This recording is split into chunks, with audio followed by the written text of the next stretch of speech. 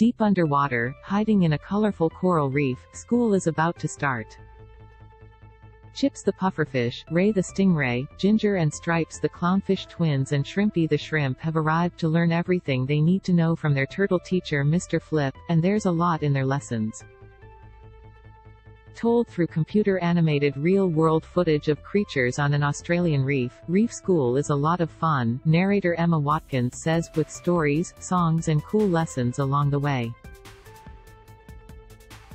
The show is so clever, particularly now when the conversation is all about how we can be kinder to the environment, Emma, 33, tells TV Week. The footage from an actual reef is great to show the beauty of our marine life. Reef School is a welcome return to our screens, even though it's in voice only for Emma, best known to young Australians as the Yellow Wiggle for more than a decade. The star says she fell into children's entertainment by accident. I had a background in teaching children dance, Emma explains. And when I joined the Wiggles, I was just going in as a ballet dancing fairy.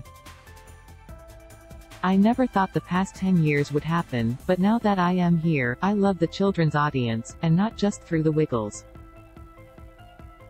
Through my own research projects, I've realized there's so much more we can be sharing and doing in the children's performance space. Emma's isn't the only famous voice in Reef School. Joining her for the 20-episode series are the late Australian icon Jack Charles, in one of his final roles, drag performer Courtney Act and TV Week Logie Award winner Tony Armstrong as Mr. Flip. Tony is so great, Emma says of the AFL player turned presenter.